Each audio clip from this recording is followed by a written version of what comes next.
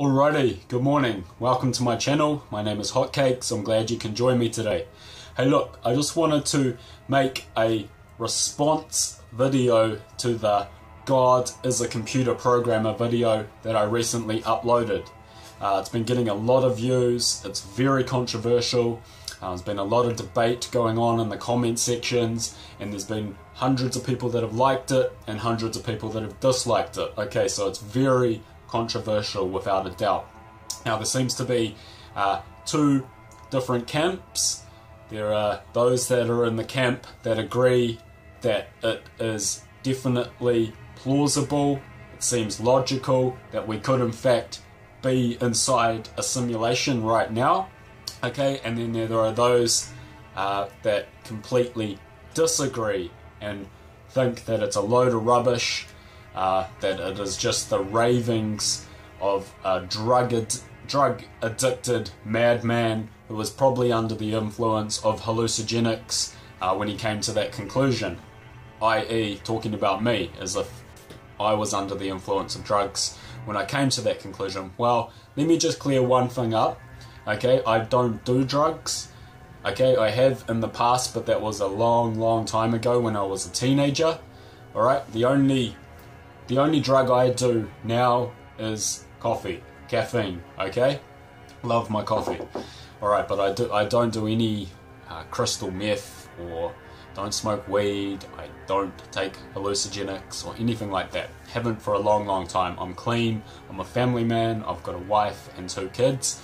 Okay, so we can just clear that up.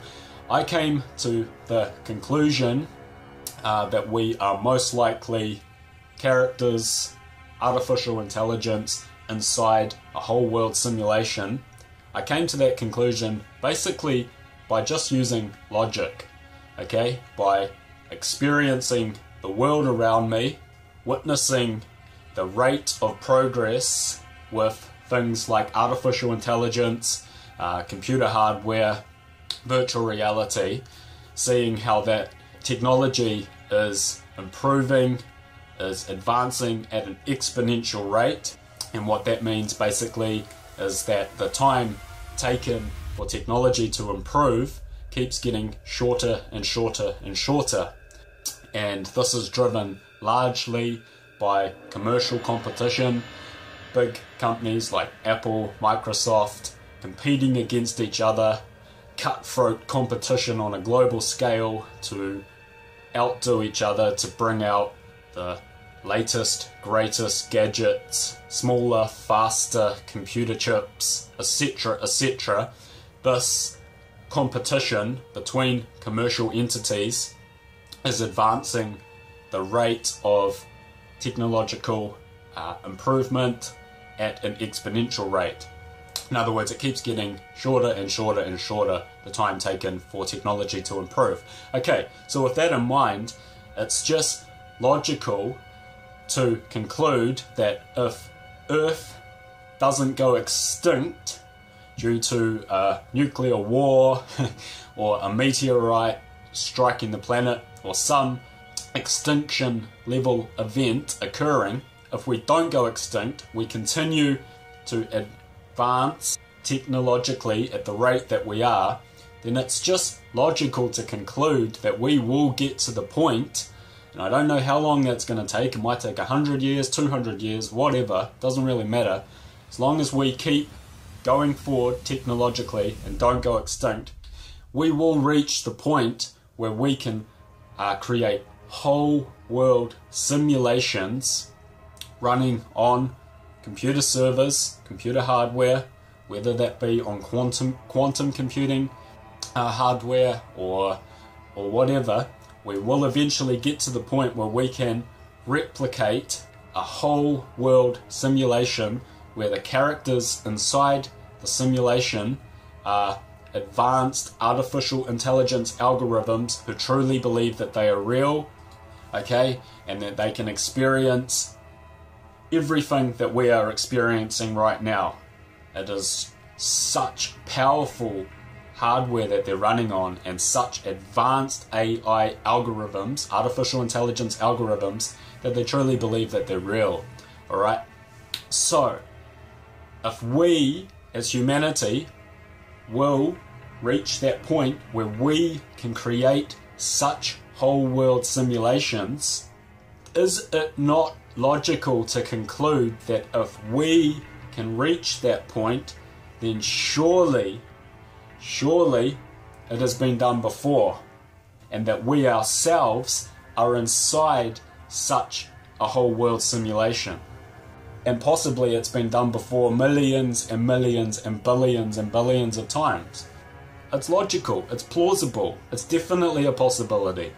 And I, I believe that because we ourselves will reach that point, then it is a very high possibility that that is in fact what the reality we are experiencing right now is. Simply because we ourselves will reach that point. So then, surely it's done been done before. And if it's been done before, then it's possibly been done millions or billions of times before. And we are a reality inside a reality, and there could be millions or billions of these simulations running on computer hardware all across the matrix of universes, blah blah blah. Okay, so basically, the reason that I wanted to make this response video was just to say that in the God is a computer programmer video, um, when I wrote this script at the beginning, where I am very cynical and very pessimistic and say that God is a sick and twisted computer programmer. Okay, when I when I wrote that, I was uh, in a state of mind where I was working in a job that I hated.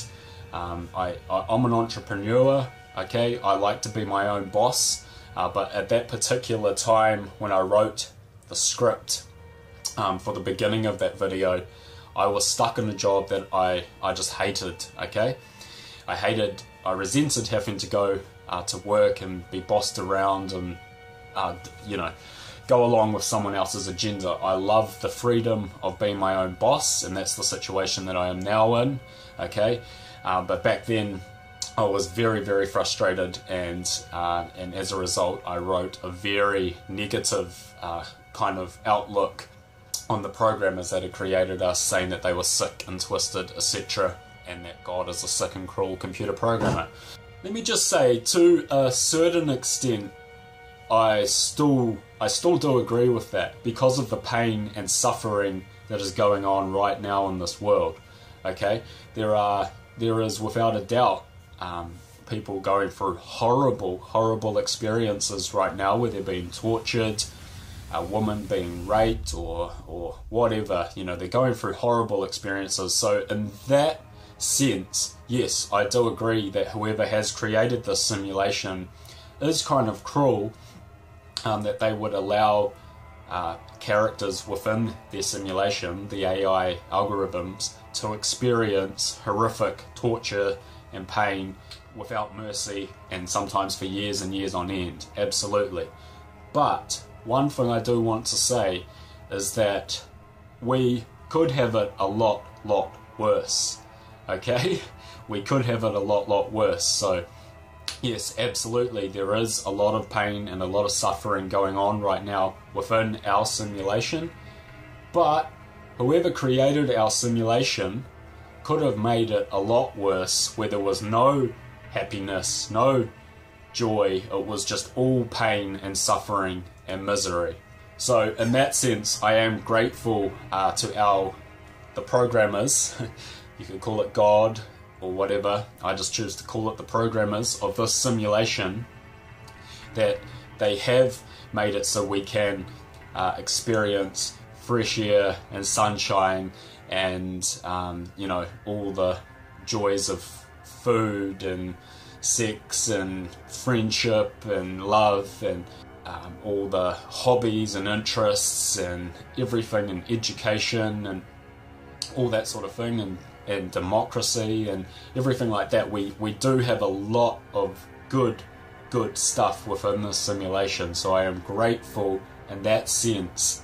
We are not inside a simulation where it's just like, I don't know, there's no sunshine and there's, you're just being tortured by deep, probably something to what the Christian version of hell is.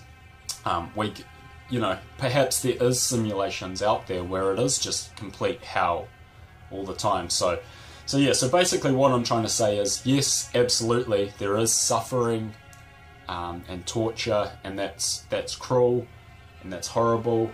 Characters within our simulation are experiencing that, but I am grateful to the programmers and call it God or whatever you want to call it, whoever created this simulation, they have made a lot to be grateful for. They really have. And um, so I am grateful in that sense. And so, yeah, so I just wanted to say that in the God as a computer programmer um, video, I was very pessimistic um, at the start of that video, and I was going through a kind of negative um, experience in my life at that time when I wrote that, and I still do agree uh, with that to a certain extent, but not completely, because there is a lot to be grateful for in this simulation. Alright, okay, I just wanted to clear that up. Thank you very uh, thank you very much for watching. Sorry I've rambled on a bit. And um, have a great day inside the simulation, wherever you are. Thank you.